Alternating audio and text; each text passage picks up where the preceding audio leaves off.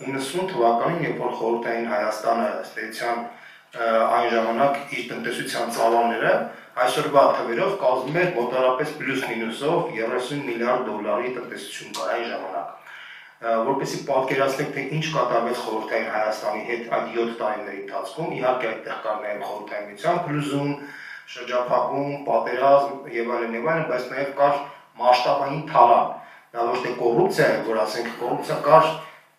վերջին 10 տարի առաջ 15 կար 20 տարի առաջ 90-ականներին ոչ թե կոռուպցիա էր, այլ համակարգված թալան էր։ Թալան, որտեղ պետական սեփականությունը անցնում էր մասնավոր ձեռքերում, ոմանք, նո, ասենք 94-95 թվականներին massական սեփական աշտարում սկսվեց, բայց մինչև 94-95 թվականը այդ թալանը գնում էր կողարկված ճանապարհով, այսինքն խորհրդային Հայաստանի գործարաններից գործարաններից հոսքագծեր էին, թանկարժեք հոսքագծեր էին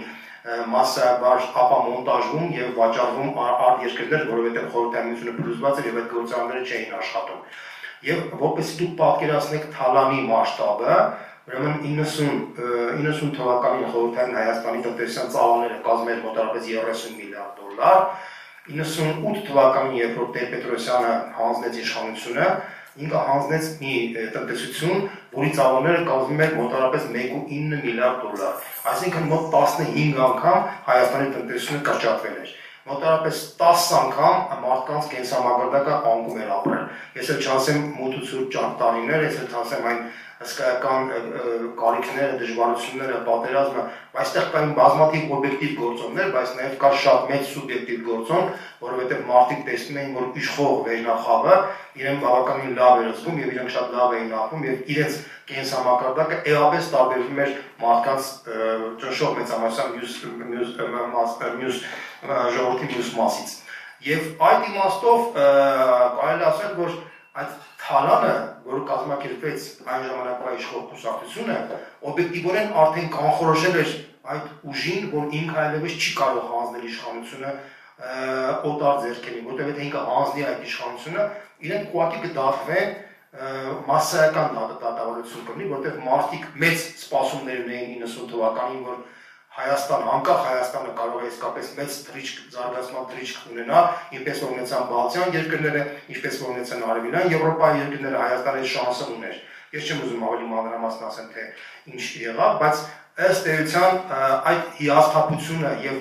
իշխող ուժի այն լկտիությունն ու սանձարցակությունը, որ մարդիկ տեսնում են, ուղղակի մարդիկ շոկ էին ապրում Եվ այդ դրանից ելնելով արդեն իշխող վերնախավը իր համար արդեն որոշում էր կայացրել, որ իրենք պետք է ձևորեն այնպիսի համակարգ, որ այլևս իշխանությունը չհանձնեն ժողովրդին։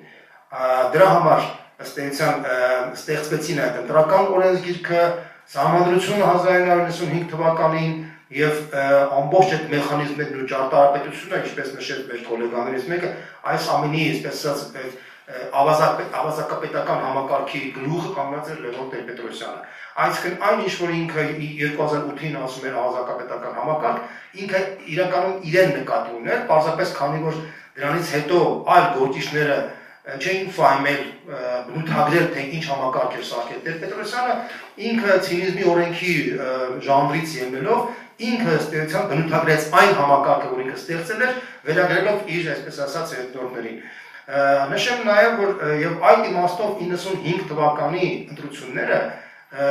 նույնպես ոչ պակաս կեղծվեցին։ Պարզապես 95 թվականին հասարակությունը հիասթափված էր, ինքը չէր հավատում իր ուժերին եւ միասնական process չգնաց քաղաքական դաշտում, բսկտված էր քաղաքական դաշտը։ Դրա համար 95 թվականին իշխանությունները հեշտությամբ կարողացան այդ ընտրական կեղծիքի համակարգով վերարտադրվել։ Բայց 96 թվականին մարդիկ տեսնելով, որ Սա արդեն ուղակի վերջն է արդեն եւ քաղաքական վերնախավներ զգալով, որ ինքը կորցնում է բոլոր շանսերը արդեն ժողովրդի մոտ իր վստահությունը պահպանելու, որովհետեւ 95 թվականի այդ միասնության բացակայությունը հենց դրա պատճառն էր։ Իրենք կարողացան իսկապես ընդհանուր հայտարարի կամ Վազգեն Մանիկյանի շուրջ եւ այդ միասնությունը իսկապես մեծ ռիսկ հաղորդեց հանրությանը, ժողովրդին, ժողովուրդը հավատաց, վստահեց իր ուժին եւ 96 թվականին մարդկաց թվում էր թե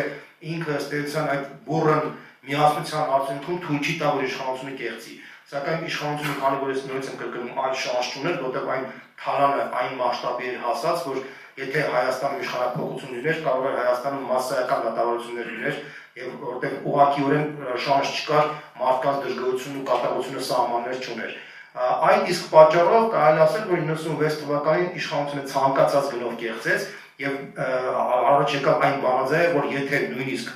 իշխանությունը, եթե նույնիսկ ընդդիմությունը 100% ձեներ հավաքի, միևնույն է մենք այդ ընդդիմությանը իշխանություն չենք հանձնելու հաջորդ կարգախոսը եղավ այն, որ եթե պետք լինի մենք կարող ենք գնդակ արել 7 հոգի, 70 հոգի, 700 հոգի, միևնույն է մենք իշխանություն չենք տալու։ Այսինքն այսպիսի իշխանություն էր ձևավորված 96 թվականին եւ դրվեց մի կեղտոտ հավանդույթ, որ փաստացի Հայաստանում իշխանությունը ձևավորում է ոչ թե ժողովուրդը, այլ բռնի բռի ուժը Եվ այդ բռի ուժը ըստ էության ինքը կեղտոտ ավանդույթ դրեց, այդ ավանդույթը ցավոք սրտի հետագայում արդեն չփոխվեց։ Իհարկե կոսմետիկ որոշակի փոփոխություններ եղան։ Իհարկե, հաջորդ իշխանությունները կարողացան տնտեսական համակարգում բեկում մցնել եւ այն թալանչիական համակարգը, որ կա մինչև 98 թվականը, ինքը ըստեյության վերափոխվեց եւ ինքը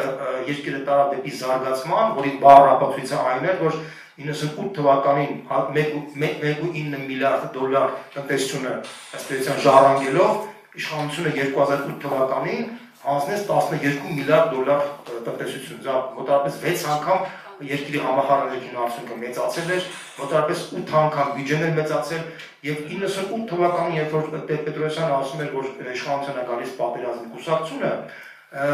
կյանքը եւ պատմությունը ցույց տվեց, որ պատերազմի իրական կուսակցությունը ինքն է եւ իր շրջապատը, որովհետեւ այն ուժերը, որ եկան 98 թվականին, ապահովեցին Հայաստանին մոտավորապես 20 տարի խաղաղ կյանք, եթե չհաշվենք ընդհանրապես ապրիլյան պատերազմի 4 օրը։ Գլխավոր պետք է որ մեզ բոլորիս լինի այն, որ 9-ին 98 թվականի վերադարձը Հայաստանի, այդ այսպես կոչված հրաշայական Հայաստանի վերադարձը հայ ժողովրդի վեր, վերջնականապես մերժի, որովհետև սա ողբերգություն կլինի մեր ժողովրդի համար։